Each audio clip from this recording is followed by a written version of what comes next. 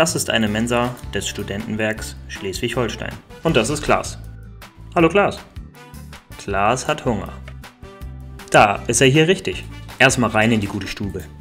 Ihm fällt gleich dieser kleine Kasten an der Wand auf. Was ist das? Oh, guck mal. Hier gibt es verschiedene Bezahlmöglichkeiten. Wie machen das eigentlich andere? Dieser Mann bezahlt seinen Kaffee mit einer Karte. Schon wieder so ein weißer Kasten.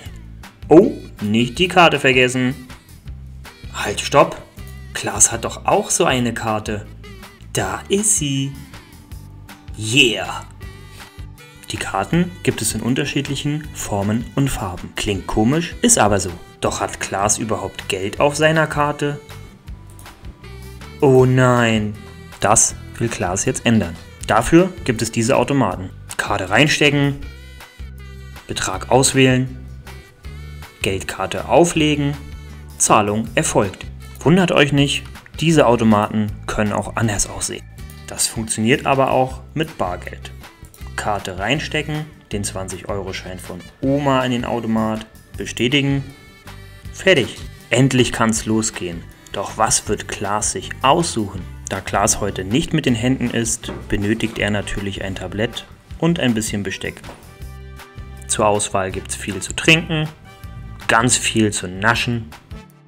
Doch beim Salat fällt Klaas was auf. Warum gibt es drei Preise? Der erste Preis gilt für Studierende, der zweite für Hochschulangehörige und der dritte für Externe. Klaas entscheidet sich heute für einen kleinen Salat. Vorbei an der riesigen Salatbar mit einer unglaublichen Auswahl steuert er zielsicher auf die Pizza zu. Jetzt wird spannend. Klaas bezahlt mit seiner Karte. Ob das klappt? Ja! The sky is the limit. Auch für Klaas. Deswegen möchte er von ganz oben ein bisschen gucken. Philipp ist auch da, moin. Aber der hat einen Apfel dabei. Der kauft hier gar nichts. Aber Klaas weiß, natürlich kann man in der Mensa auch sein eigenes Essen essen. Uh, der Magen ist voll. Das war eine 10 von 10. Gestärkt geht's weiter. Halt, stopp. Klaas, nimm bitte dein Teller und Besteck mit. An der Geschirrgabe entdeckt er was. Aha. Teller nach links, Besteck rechts daneben und keine Sachen liegen lassen, die da nicht hingehören. Den Teller aufs Band legen und tschüss Teller.